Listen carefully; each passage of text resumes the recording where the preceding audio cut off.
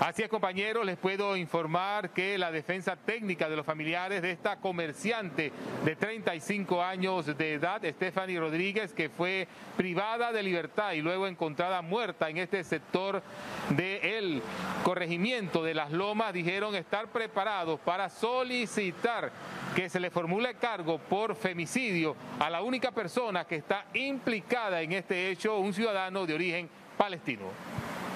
de mayo se le efectúa la audiencia de imputación, nosotros estaremos activos y pendientes para que la misma sea legalizada.